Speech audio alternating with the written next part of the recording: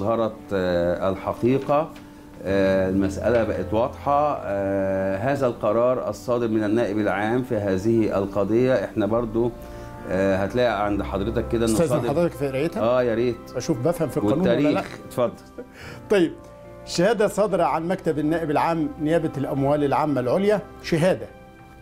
القضية رقم 322 لسنة 2018 حصر أموال عامة عليا والمقيدة برقم 43 لسنة 2018 حصر تحقيق عليا عبارة عن شكوى. تركي عبد المحسن عبد اللطيف آل الشيخ ضد محمود الخطيب رئيس مجلس إدارة النادي الأهلي للرياضة البدنية وأعضاء مجلس إدارة النادي الأهلي.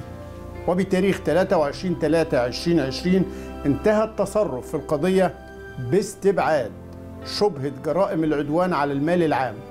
وقيدت برقم 10 لسنة 2020 شكاوى محفوظة. وقد حررت هذه الشهادة بناء على الطلب المقدم من الأستاذ مهاب عثمان المحامي وكيل محمود إبراهيم إبراهيم الخطيب بالتوكيل رقم 2216 ألف لسنة 2019 توثيق نادي الأهلي بعد سداد الرسوم المقررة بالقسيمة رقم والمؤرخة في 4 4 2020 بخزينة محكمة المرج الجزئية وقيدت برقم 49 2020 شهادات عليا تحريرا في 4 4 2020 وكيل الشؤون الجنائية بنيابة الأموال العامة العليا. ده حسم